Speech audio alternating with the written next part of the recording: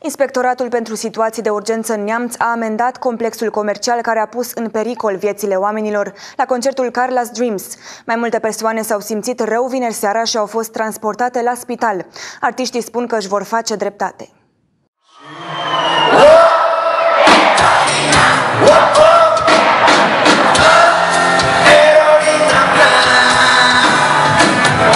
Concertul trupei Carla's Dreams a fost motiv de bucurie pentru toți fanii din Piatra Neamț. Sute de persoane s-au adunat vineri seara în molul unde a avut loc concertul, prea mulți însă pentru capacitatea locației. Acesta a fost și motivul pentru care mai multe persoane s-au simțit rău, iar formația a fost nevoită să oprească spectacolul pentru a evita eventualele tragedii. Băieți, știm, serios, noi nu mai cântăm.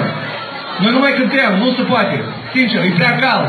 Fanii au fost înghesuiți într-o locație atât de mică. Din cauza efectului de seră format în locația spectacolului, numai puțin de 9 persoane au ajuns la spital. Autoritățile au declanșat o anchetă pentru a stabili cine se face vinovat pentru incident. Îmi exprim uh, nemulțumirea și îngrijorarea pentru faptul că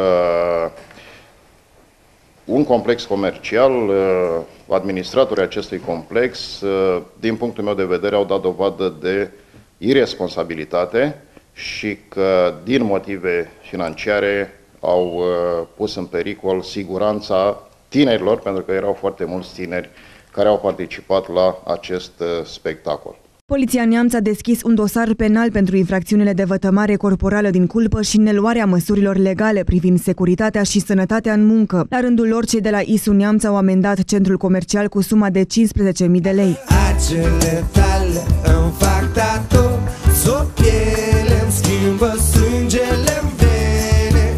și aș vrea să îmbătrânim în doi. Băieții de la Carla's Dreams au anunțat imediat după incident că îi vor acționa în instanță pe organizatori. Ei au spus că tragedia de la clubul colectiv putea fi repetată dacă nu opreau concertul, dar pentru asta cei vinovați trebuie să plătească.